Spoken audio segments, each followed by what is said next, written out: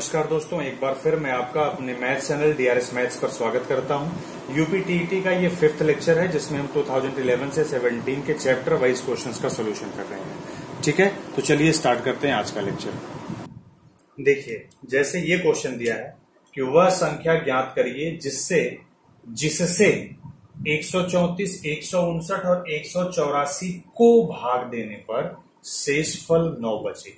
ठीक? तो आप देखिए क्या है। एक नंबर होगा जो एक सौ चौतीस, एक सौ उनसठ और एक सौ चौरासी को जिस इन तीनों नंबरों को उस नंबर से डिवाइड करना है।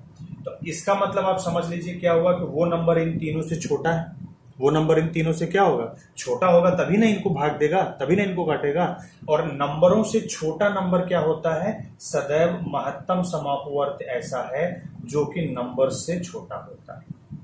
ठीक है? तो इसका मतलब हो गया कि इस क्वेश्चन में आपको महत्तम समापवर्त निकालना है।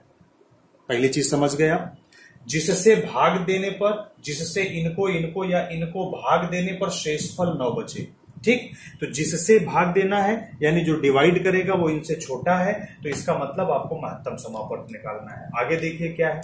ये बोल रहे हैं कि किसी को भी भाग देने पर एक ही शेषफल बचे नौ। तो आपको क्या करना है? तीनों नंबर लिखो।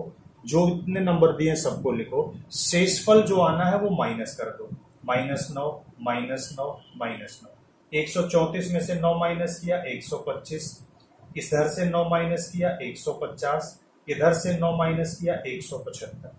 अब आपको ये एक सौ पच्चीस एक सौ पचास और एक सौ पचहत्तर का महत्तम समापवर्त लेना है। तो महत्तम समापवर्त निकालने के लिए हमने आपको तरीका बताया है पिछले वीडियोस में, जो कि जिसमें हम एलसीएम, एचसीएफ का ही डिस्कशन करते आ रहे हैं, कि आपको क्या करना है? पहले दोनों नंबरों का अंतर ले लो 25 बाद के दोनों नंबरों का अंतर ले लो 25 दोनों अंतर बराबर आ रहे हैं। अब आप ये देखो, ये जो भी 25 है, क्या इस, अगर इस नंबर से तीनों डिवाइड हो जा रहे हैं तो यही महत्तम समापवर्तक हो गया।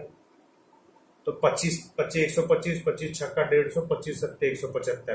तीनों कट जा रहे हैं, इसलिए महत्तम समापवर्त क्या हो गया? 25 तो आंसर हो गया 25 25 से इन तीनों में से किसी को भी आप भाग दोगे, शेषफल नौ बचेगा। शेषफल क्या आएगा? नौ आएगा। ठीक? अगर ये 25 से नहीं कटते तो हम इनका गुणनखंड करते और फिर आगे ले जाते। तो आप एक चीज़ याद रखिए कि तीन या तीन से ज़्यादा नंबर, जितने भी नंबर हैं, अगर सब में एक ही शेषफल आ रहा है, जो भी शेषफल आ रहा है, नंबर में से वो नंबर, वो शेषफल माइनस कर लो। माइनस करने के बाद जो नंबर्स आ रहे हैं, उनका आप महत्तम समापवर्त निकाल लो। वही आपका आंसर होगा। एक क्वेश्चन इस तरह का आएगा। कि वह संख्या ज्ञात करिए, जिससे इस नंबर और इस नंबर को भाग दें तो शेषफल क्रमशः ग्यारह और पंद्रह आ जाए। ठीक है? तो जिससे भाग देना है इनको तो सीधी सी बात है, फिर से महत्तम समापवर्ती निकालना है। शेषफल ग्यारह और पंद्रह चाहिए। तो आपको क्या करना है? पहले नंबर लिखो, two nine three four minus ग्यारह तो आपको नंबर मिल जाएगा कितना? Two nine two three. फिर आपका दूसरा नंबर है three two five four minus पंद्रह तो ये वैल्यू आ जाएगी थ्री टू थ्री नाइन ठीक है? अभी इन दोनों का महत्तम निकालना है। दो ही नंबर है तो भाग विधि से निकालिए, बढ़िया नंबर है। थ्री टू थ्री नाइन को आप पहला काम क्या करोगे? टू नाइन टू थ्री से डिवाइड करोगे। वन जा टू नाइन टू थ्री जैसे ही आपने इसको टू नाइन टू थ्री के माइनस करिए। यहाँ पर वैल्यू छह आ गई, यहाँ पर एक आ गई। बारह में से नौ गया तीन। तीन सौ सोलह हो गया। अभी फिर इससे आप क्या करो? टू नाइन टू थ्री को डिवाइड करो। अभी कितना बार जाएगा, देखिए आप। तीन नवा सत्ताईस होता है तो लगभग नौ जाएगा। तो नौ छक चौवन का चार, पाँच, नौ एक कम, नौ पाँच, चौदह का चार, एक, नौ तीन, सत्ताईस, एक, अट्ठाईस। अट्ठाईस सौ चौवालीस हो गया। जैसे माइनस किया आपने, seventy nine thirteen minus four, nine, और इधर कितना आ जाएगा?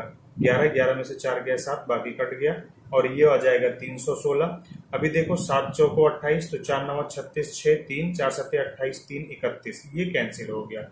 सेवेंटी नाइन ने डिवाइड कर दिया तो वो सबसे बड़ी संख्या कितनी होगी? सेवेंटी नाइन है जिससे इसको डिवाइड करेंगे तो 11 और इसको डिवाइड करेंगे तो 15 शेष फल आएगा। ठीक है? देखिए ये क्वेश्चन दिया है वह बड़ी से बड़ी संख्या ज्ञात करो जिससे इस 545, आठ सौ तिरसठ नौ सौ उनहत्तर को भाग देने पर समान शेष फल आता है। देखिए, बड़ी से बड़ी संख्या जब भी पूछेगा, इसका मतलब कि आपको महत्तम समापवर्तक निकालना है। ठीक?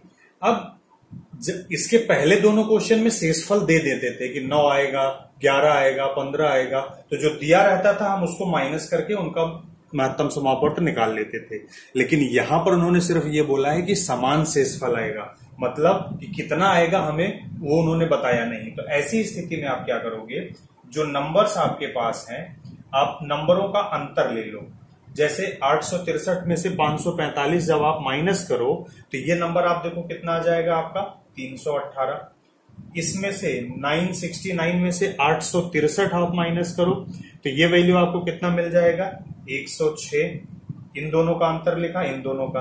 अभी फ़र्स्ट और लास्ट का भी अंतर ले लो, इसका और इसका अंतर ले लो तो नौ सौ उनहत्तर में से 545 का आप अंतर निकालो तो ये वैल्यू आ गया 424 ठीक है? ये नंबर मिला ये नंबर मिला और ये नंबर मिला। जब भी समान शेषफल का क्वेश्चन आएगा तो ये करना है। दिए गए नंबरों का अंतर ले लो। पहले दोनों का इन दोनों का फ़र्स्ट और लास्ट का। अब इन तीनों नंबर्स का आप महत्तम समापवर्त निकाल दो। तो आप देखो 318, 424, 106 है। इनका महत्तम समापवर्त निकालना है। तो जरा देखो कैसे आप निकाल सकते हो। अभी आप देखो इन्हीं तीनों का महत्तम समापवर्तक निकालना है। तो आप देखो इन, हमने बोला है कि जब दो से ज़्यादा नंबर हो तो महत्तम समापवर्त कैसे निकालेंगे? दोनों का अंतर ले लो। तो इसका इसका अंतर आ गया 106 और इसका और इसका अंतर आ गया कितना? 312 तो इन दोनों में छोटा नंबर कितना? सॉरी 318 तो इन दोनों में छोटा नंबर कौन सा है? 106 तो पहला ये चेक करना होता है, क्या ये छोटे नंबर से तीनों डिवाइड होंगे?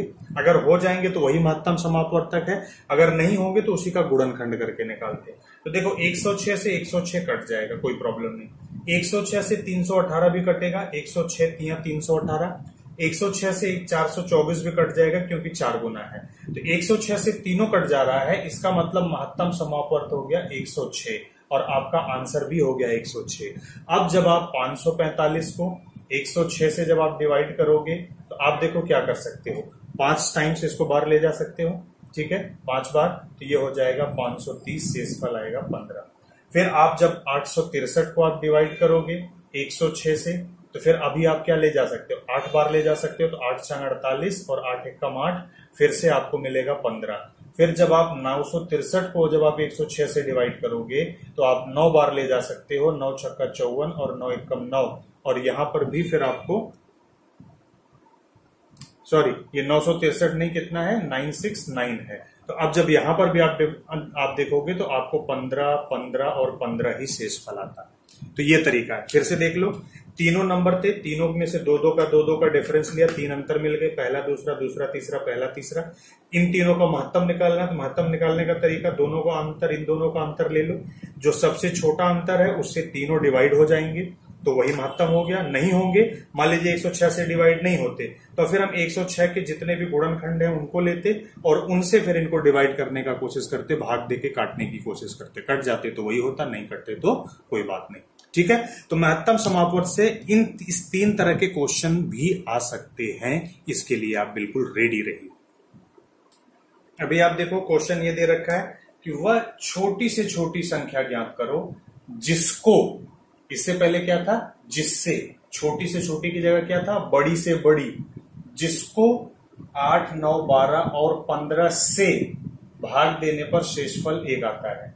ठीक है? जब बड़ी से बड़ी संख्या आएगी तो महत्तम छोटी से छोटी संख्या पूछेगी तो लघुत्तम समापवर्त पहला अंतर। दूसरा, वहाँ पर था जिससे भाग देने पर, यहाँ पर आ रहा है जिसको भाग देने पर। जिससे महत्तम, जिसको लघुत्तम। ठीक है?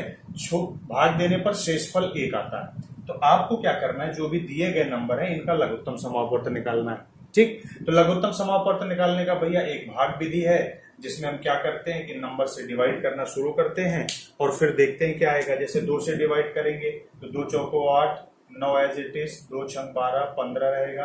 फिर यहाँ दो से डिवाइड करेंगे, दो दूना चार नौ रहेगा, दो तीन छः पंद्रह होगा, फिर दो से कट गया, एक कम नौ, तीन, पंद्रह। फिर आप तीन से डिवाइड करोगे, एक, तीन तिया तीन, एक कम, तीन पच्चे फिर आप तीन से डिवाइड करोगे, एक एक एक और पाँच। तो यही हुआ, पाँच तिया पंद्रह तिया पैंतालीस गुना नब्बे, गुना एक सौ अस्सी, गुना तीन सौ साठ। तो लघुत्तम समापत हो गया तीन सौ साठ। 360 ऐसा नंबर है, जब इन नंबरों से डिवाइड करेंगे तो पूरी तरह से कट जाएगा। लेकिन हमको एक शेषफल चाहिए तो इसलिए हमें जो नंबर चाहिए वो होगा 360 प्लस वन यानी कि 361 तो हमारा आंसर हो गया 361 शेषफल 360 इन सबसे कट जाएगा, एक शेषफल लाना है तो एक इसमें जोड़ देना है। अब देखिए, ये क्वेश्चन दिया है फिर से, कि वह छोटी से छोटी संख्या ज्ञात करो जिसको 12, 15, 18 और 21 से भाग देने पर शेषफल क्रमशः 7, 10, 13 और 16 आता है। ठीक है? तो फिर से वही छोटी से छोटी संख्या है। इसका मतलब आपको लघुत्तम ही निकालना है। पहले नंबर्स आप लिखो। 12, 15, 18 और 21 शेषफल जो उनका आना है माइनस करो माइनस सात माइनस दस माइनस तेरह और माइनस सोलह। तो आप देखोगे ये अंतर पाँच आ रहा है केवल। डिफरेंस कितना आ रहा है? पाँच आ रहा है। ठीक है? ये दूसरा टाइप का क्वेश्चन है, जिसमें अलग अलग रिमाइंडर आएगा, लेकिन जब आप नंबर और रिमाइंडर का डिफरेंस देखोगे तो वो डिफरेंस आपको सेम मिल रहा है, पाँच आ रहा तो अभी आपको क्या करना है कि पहले आप बारह, पंद्रह, अठारह और इक्कीस का लघुत्तम ले लो। तो लघुत्तम निकालने का तरीका, एक तो भाग विधि आपको सिखाया था, दूसरा यहाँ गुणनखंड मेथड देख लो।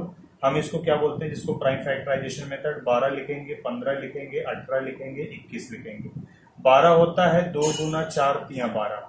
पंद्रह होता है तीन पचे पंद्रह। अठारह होता है दो तिया छ तिया अठारह। और इक्कीस होता है तीन सते इक्कीस। उनको सबसे प्राइम नंबर्स के टर्म में तोड़ दो। ये होता है फैक्टराइजेशन मेथड, गुणनखंड विधि। अभी आपको क्या करना है कि दो यहाँ पर दो बार आया है और यहाँ पर एक। तो सबसे ज़्यादा बार कितनी बार हुआ? दो बार। तो यहाँ पर लिखो दो गुड़े दो गुड़े। अब तीन पर आ जाओ। तीन एक बार है, एक बार है, यहाँ दो बार है। तो तीन गुड़े तीन, दो बार लिख लो। तीन भी हो गया। अब आया पाँच एक बार, सात एक बार। तो पाँच एक बार, सात एक बार। सभी को गुड़ा कर लो। दो दूना चार तिया बारह, पंजे साठ तिया एक सौ अस्सी और एक सौ अस्सी गुड़े सात। तो अठारह सत्य कितना होगा? एक सौ छब्बीस और ज़ीरो। बारह सौ साठ, ये वो नंबर है जो इन तीनों का लघुत्तम है। ठीक है? और लघुत्तम है तो ये इन चारों नंबरों से कट जाएगा। हमें क्या करना है? भाग देने पर अलग अलग शेषफल चाहिए। डिफरेंस पाँच आ रहा है सभी का। तो आपको क्या करना है? ये 1260 में से पाँच माइनस कर दो तो 1255 वो नंबर है जिसको जब आप 12 से डिवाइड करोगे तो सात, पंद्रह से डिवाइड करोगे तो दस, अठारह से डिवाइड करें तेरह, इक्कीस से डिवाइड करेंगे तो सोलह। रिमाइंडर बचेगा। ठीक है? आई बात समझ में? तो इस तरह के क्वेश्चन भी आपका जो लघुत्तम समापवर्त है और महत्तम समापवर्त से आपसे पूछा जा सकता है। जैसे ये क्वेश्चन दिया है, अनुपात के ऊपर है कि दो संख्याओं का अनुपात, तीन अनुपात चार है। अगर उनका महत्तम समापवर्त पंद्रह है तो वो संख्या ज्ञात करेगी ठीक है? दो नंबर्स हैं जिनका अनुपात तीन और चार के अनुपात में है, उनका महत्तम समापवर्त दिया हुआ है पंद्रह तो नंबर बताइए। उसके लिए कॉन्सेप्ट आप ये देख लीजिए कि भैया, जब भी कभी नंबर्स का ratio ratio of the numbers A is to B हो, संख्याओं का अनुपात ए अनुपात बी हो, उनका हाईएस्ट कॉमन फैक्टर एन दिया हुआ है तो नंबर क्या होंगे? पहला नंबर एन इंटू ए पहला नंबर होगा एन इंटू बी दूसरा नंबर होगा। यानी अनुपात गुड़े महत्तम समापवर्त संख्या होगी। ठीक? उसके हिसाब से इसको देखिए। अनुपात है तीन, अनुपात चार और महत्तम समापवर्त कितना दे रखा है आपका? पंद्रह। तो पहला नंबर क्या हो जाएगा? तीन गुड़े पंद्रह। आप इसको क्या करोगे? थ्री इंटू फिफ्टीन तो पहला पैंतालीस हो गया और दूसरे में पंद्रह का गुड़ा करोगे तो साठ हो गया। तो ऐसे दोनों नंबर क्या हो गए? फोर्टी फाइव एंड सिक्सटी पैंतालीस और साठ हो गए। नंबर आप डायरेक्टली निकाल लेंगे आसानी से। कई कई बार आपसे पूछ लेगा, उनका लघुत्तम समापवर्त बताइए। तो आप जानते हो कि लघुत्तम समापवर्त और महत्तम समापवर्त इनका गुणनफल होता है first number into second number तो पहला नंबर क्या? पैंतालीस, दूसरा क्या? साठ। और इधर महत्तम समापवर्त कितना? पंद्रह। गुड़े क्या आ जाएगा? लघुत्तम समापवर्त होगा। तो पंद्रह चौको साठ और पैंतालीस चौको तीन सौ साठ। तो लघुत्तम समापवर्त कितना हो गया? थ्री सिक्सटी तीन सौ साठ। तो आप दोनों चीज़ें निकाल सकते हो। पैंतालीस सॉरी पैंतालीस गुना नब्बे नब्बे गुना एक सौ अस्सी, तीन सौ साठ नहीं, एक सौ अस्सी। ठीक है? तो आप क्या कर सकते हो? नम संख्याओं को बता सकते हो, लघुत्तम समापवर्त भी निकाल सकते हो। ठीक है? यहीं से आप और एक चीज़ देख लो कि LCM into H C F बराबर हो गया N A into N B यही हुआ। भाई नंबर्स का गुणनफल और उनका लघुत्तम और महत्तम का गुणनफल बराबर होता है। H C F highest common factor N क्या है? वो महत्तम समापवर्त है। तो देखो एन से एन कैंसिल हो जाएगा तो आपको मिल गया LCM is equal to N N का मतलब H C F into first ratio term first ratio term into second ratio term ठीक है? या इसी को मैं ऐसे लिख सकता हूँ कि H C F into ratio terms is equal to LCM मतलब कि सीधा सीधा कि लघुत्तम समापवर्त बराबर महत्तम समापवर्त गुड़े अनुपात या अनुपातिक पद। ठीक है? अब यहाँ से आप देख लीजिए, जब भी ऐसा क्वेश्चन आएगा तो आप डायरेक्टली निकाल सकते हो। अब जैसे मान लीजिए, यही रेशियो वो चेंज कर दे, बदल दे। ठीक? आपको क्या दे दे कि जो नंबर्स हैं, उनका रेशियो आपको दे दे कि भैया ऐसा है फोर इज़ टू फाइव के रेशियो में नंबर्स हैं और उनका महत्तम समापवर्त है नौ। तो उनका लघुत्तम समापवर्त क्या होगा? तो आप डायरेक्टली लिखोगे कि लघुत्तम समापवर्त बराबर महत्तम समापवर्त गुड़े रेशियो पद तो चार गुड़े पाँच। तो पाँच नवा ये कितना हो जाएगा? नौ बचे पैंतालीस चौको एक सौ अस्सी। डायरेक्टली ऐसे लिख दोगे। कितना आएगा? नौ बचे पैंतालीस ठीक? और पैंतालीस चौको एक सौ अस्सी। ठीक है? तो इस तरह से आपका ये आंसर आ जाएगा। एक ये क्वेश्चन देखिए कि दो संख्याओं का योगफल 216 है, महत्तम समापवर्त 27 है। ऐसी कुल कितनी संख्याओं के युग यानी कि पेयर ऐसे कुल संख्याओं के कितने जोड़े हैं? ऐसी दो दो संख्याओं के कुल कितने पेयर पॉसिबल हैं? कि जिनसे क्या हो, जिनका योगफल 216 और महत्तम समापवर्त 27 हो। ठीक है? तो जब भी ऐसा है तो आप देखिए, हमने आपको बोला था कि महत्तम समापवर्त कितना दे रखा है? 27 दे रखा है। तो जो भी नंबर होगा, वो 27 का गुणनफल होगा। तो हमने बोला क्या कि 27 ए और दूसरा 27 बी हो सकता है। ठीक? पहला नंबर 27 ए दूसरा 27 बी हो सकता है। आगे देखिए, संख्याओं का योगफल 216 है। तो इसका कहने का मतलब ये कि 27 ए प्लस सत्ताईस बी बराबर 216 होना चाहिए। 27 कॉमन है, उधर जाके भाग दे देगा तो ए प्लस बी बराबर। अब ये हो गया 216 बटा सत्ताईस। ठीक? तो A plus B is equal to कितना हो जाएगा, देखो आप। सत्ताईस अट्ठे तो ये आ गया आठ। तो भैया दो ऐसे संख्याएँ जिनका योगफल आठ हो। ठीक है?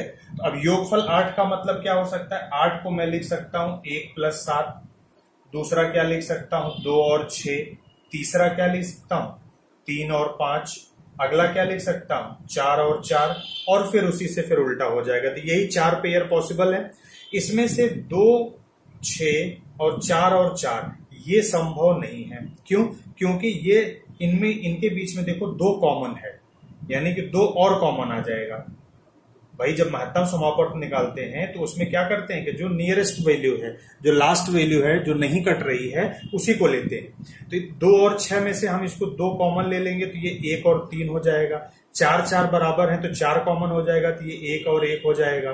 तो ये दोनों तो नहीं संभव है। बच्चे का केवल एक सात और तीन पाँच। तो ऐसे कुल दो पेयर ही पॉसिबल है। एक एक और सात और दूसरा तीन और पाँच। तो नंबर क्या होंगे? सत्ताईस गुड़े एक और सत्ताईस गुड़े सात। दूसरा पेयर क्या पॉसिबल होगा? सत्ताईस गुड़े तीन और सत्ताईस गुड़े पाँच। या तो ये संख्याओं का युग्म होगा या फिर ये संख्याओं का पेयर होगा। यही दो पेयर ऐसे हैं जो जोड़ने पर 216 मिलेंगे और दोनों के बीच में एलसीएम महत्तम समापर 27 होगा। अगर आप इस दो और को लेते तो ये सत्ताईस गुड़े दो होता, अगला सत्ताईस गुड़े छह होता तो सत्ताईस दूना चौवन, और छह को भी मैं दो गुड़े तीन लिख सकता था तो सत्ताईस तो यहाँ पर महत्तम समापवर्त चौवन आ जाता, जबकि सत्ताईस आना चाहिए। ठीक है ना? तो इस वजह से ये नहीं हो सकते। तो ये नहीं हो सकता, ये नहीं हो सकता। केवल एक सात और तीन पाँच तो केवल दो पेयर हो सकते हैं तो ऑप्शन बी सही होगा।